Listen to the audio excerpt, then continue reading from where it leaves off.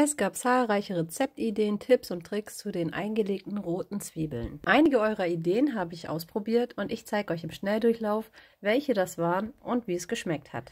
Zuerst habe ich die Zwiebeln in Streifen geschnitten und in ein Glas gefüllt. Der häufigste und einfachste Tipp war, einfach das Wasser aus einem Gewürzgurkenglas zu nutzen. Dann habe ich hier noch zwei weitere Gläser mit komplett identischen Zutaten.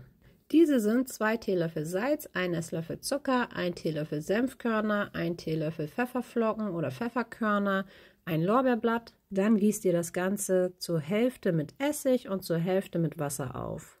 Die gleichen Zutaten einmal zum Kochen bringen und heiß in das Glas abfüllen. Das Lorbeerblatt nehmt ihr vorher raus. Beide verschließen und beschriften, damit wir hinterher genau wissen, wo wir was reingemacht haben. Noch einmal die gleichen Zutaten habe ich zum Kochen gebracht. Diesmal würfel ich die Zwiebeln aber und gebe sie in den Topf mit hinein und lasse sie nochmal für zwei Minuten aufkochen und fülle sie dann erst in das Glas hinein.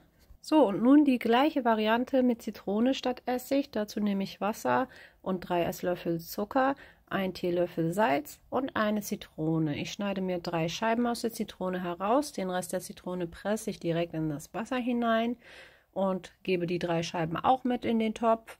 Nun bringe ich das Ganze zum Kochen und schmeiße die Zwiebelwürfel dann mit in das Wasser und lasse sie auch noch mal zwei Minuten mit aufkochen.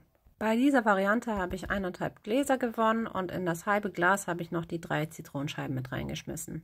Ich kann euch sagen, wie es mir geschmeckt hat. Es gibt bestimmt einige Leute unter euch, die da anderer Meinung sind.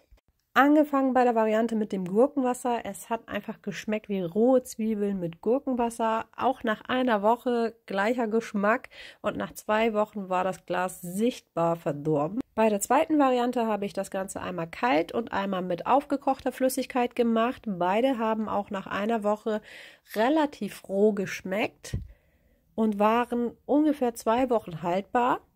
Und die beste Variante fand ich war immer dann, wenn ich die Zwiebeln mit kochen lassen habe. Dann haben die wirklich nach drei bis vier Stunden schon richtig gut geschmeckt und waren auch richtig lange haltbar oder sind es halt heute noch, vier Wochen nach dem Kochen.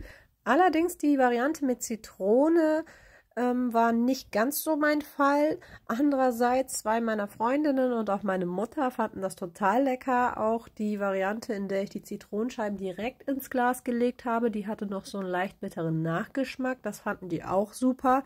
Also probiert es einfach aus. Geschmäcker sind verschieden und ich bin gespannt, was ihr davon haltet und welche Varianten ihr gerne mögt.